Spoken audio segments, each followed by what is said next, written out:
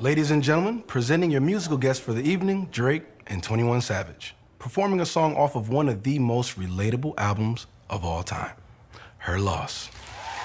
That was Michael B. Jordan in November being the faux SNL host for Drake and 21 Savage's faux SNL performance for their On BS music video. But there was no faking that Michael seemed to be alluding to his ex, Lori Harvey, in his throw to the guys. Well, flash forward two months, and Michael is the real host of Saturday Night Live this week, and he definitely referred to his ex, Lori Harvey.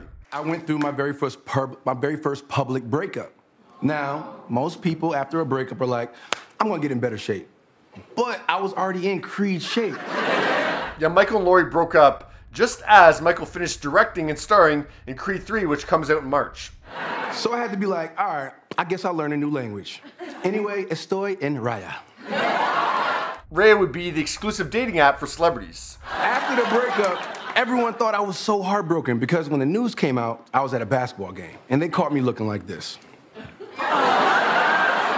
Yeah, so Michael's name actually trended on Twitter last year on June 5th as he sat in the Chase Center watching game two of the NBA Finals in San Francisco, and cameras caught him looking uh, kind of low energy, let's say, which Michael says wasn't the case at all. So there, Lori. Look, I was just chilling, but the internet decided that I, that was me being sad. But apparently, those images haven't really stuck to Michael seven months later. Luckily for me, if you Google sad Michael Jordan, the first 8,000 results are this.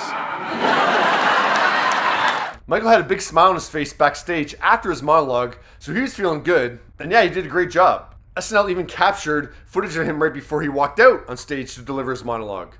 And your host, Michael B. Jordan. I was gonna say I was surprised that he brought up his breakup, but they were pretty public with their relationship. It was prior to his relationship with Lori that Michael was much more guarded about his personal life. But yeah, what'd you think of Michael bringing up the heartbreak seven months later? This is an incredible experience. There's nothing like it in the world, and I, I can't wait to come back and do it again. Go ahead, man. What you got? I ain't got You ain't got nothing?